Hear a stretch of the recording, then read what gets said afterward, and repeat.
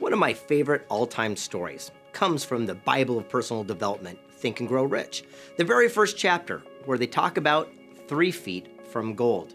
You remember the message. R.U. Darby was a young, aspiring gold miner and got gold fever. Goes out west and starts digging. Sure enough, discovers a couple little nuggets in a hole. He buries it and hides it and goes home and tells his family and friends. Well, they chip in money to buy equipment to pull it out by the truckload. Well, sure enough, the first ore cart comes out and it's filled with gold. Woohoo! They're gonna be rich! And they kept digging, but the gold ran out. They kept digging, but there was no more gold. Defeated, Darby walks out of that mine and says, I quit, I'm through, and sees a junk man walking by.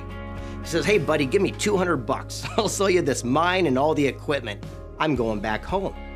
Well, the junk man, realizing the equipment was worth thousands, said, Of course, you got yourself a deal. And then Darby goes home defeated. But the junk man, he does something brilliant. He goes to a local engineer, an expert in mining, and says, What happened? Says Darby hit gold and ran out. Well, the engineer starts laughing. He says, That's so simple. That's like mining 101.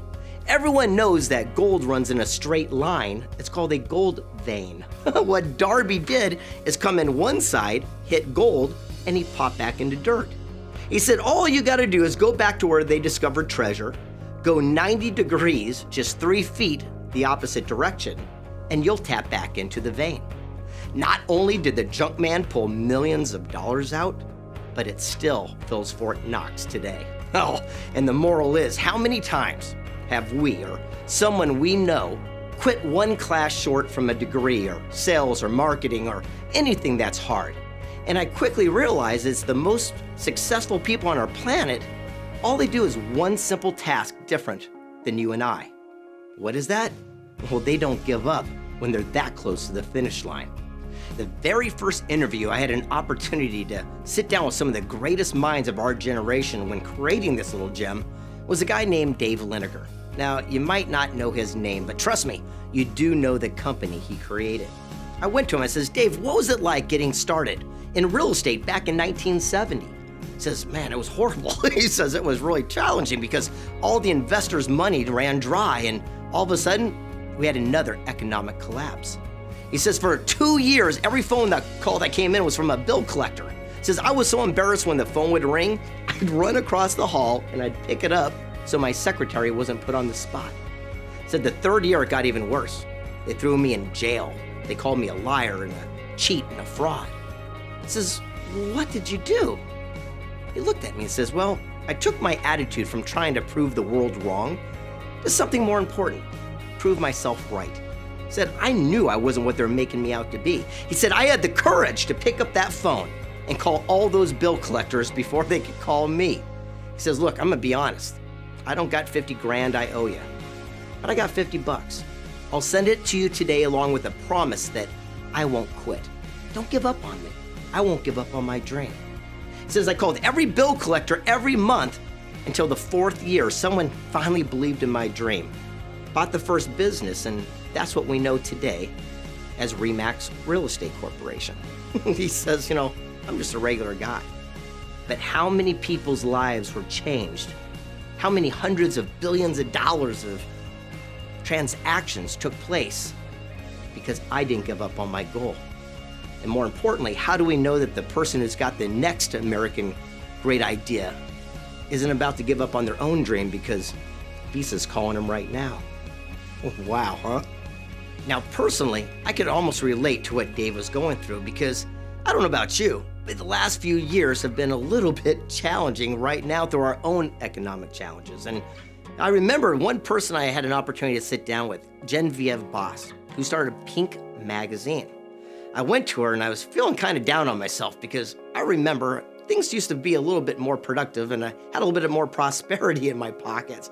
And I went to her and I said, Genevieve, I just feel down on myself. I, I feel kind of like a loser, like a failure, like I'm not living up to my old expectations. She leans into me and she says, Never let your mistakes, your setbacks, or your circumstances determine your value as a person. Says, Genevieve, you just don't understand what I'm going through. I mean, that old quote says, the older we get, the better we used to be. Well, right now, I used to be pretty darn productive. right now, like I said, I just feel kind of like a failure. She goes, I understand that. But never let your mistakes or setbacks determine your value. She reached into her pocket and she pulled out a crisp $100 bill and she goes, Here, do you want this? I says, Yeah, I really do. And she crumpled it and she goes, Here, do you want that bill? And I said, Absolutely. She goes, Why? And I says, Well, it's a hundred bucks and I'm being direct with you. I could really use that money right now. That might just be the taxi funds to get back to the airport. She takes that $100 bill and she throws it on the ground and steps on it like a cigar butt. And she goes, Do you still want that? I said, Yeah, I really do. That 100 bucks would go a long way for me.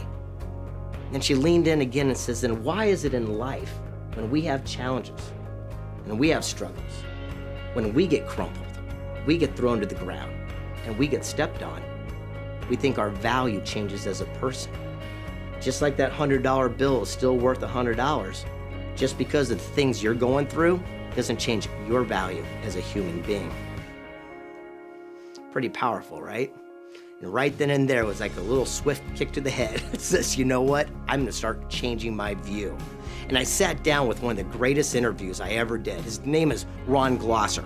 He ran a little company you might have heard of called Hershey Chocolate. Six billion dollars. And he said something profound. He said, never make your major life changing decisions when you're in a valley. I go, what do you mean? He says, think about it. He goes, we all have ups and we all have downs.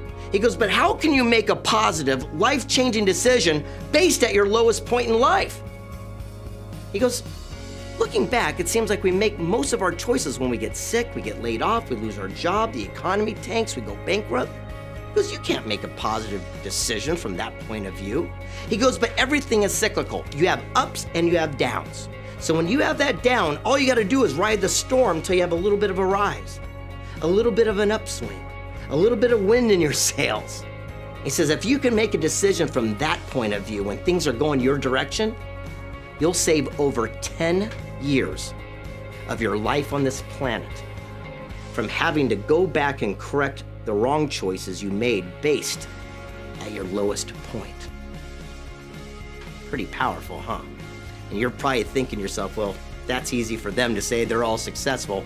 What about Napoleon Hill and Write and Think and Grow Rich and Three Feet from Gold and all this? Well, you see, it wasn't always easy for even Mr. Napoleon Hill himself. You see, when he wrote Think and Grow Rich, he was turned down by every single publisher for over 15 years.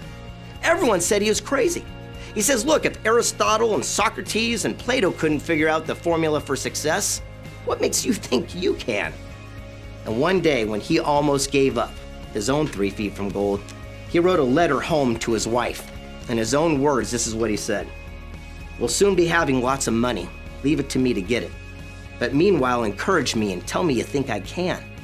You have no idea what it's like when not a soul on earth encourages you and all the negative forces pour in. It takes superhuman strength and will to throw them off. I'd give anything if I had someone tell me I could succeed, even if they didn't believe it themselves. I say it to myself, but it's not the same as if it came from an outsider. The inner self of me denies it.